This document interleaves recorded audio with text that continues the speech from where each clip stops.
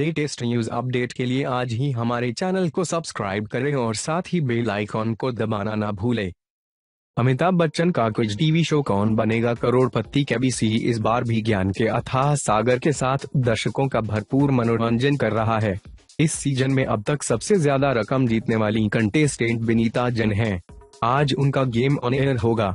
KBC के promo में दिखाया गया है कि गुवाहाटी की बिनीता जैन ने चौदहवें सवाल का सही जवाब देते हुए एक करोड़ रुपए की रकम जीत ली है। अब तक सबसे ज़्यादा जीती हुई राशि 25 लाख थी, लेकिन बिनीता ने एक करोड़ रुपए जीतकर कीर्तिमान रचा है। वे 2 अक्टूबर के शो में सात करोड़ रुपए की राशि के लिए भी पूछे गए सवाल का जवाब देंगी। बता दें कि पिछले सीज़न में किसी ने भी सात करोड़ रुपए की राशि नहीं जीती थी। हालाँकि, जमशेदपुर की अनामिका मजूमदार एक करोड़ रुपए जीतने में सफल रही थीं।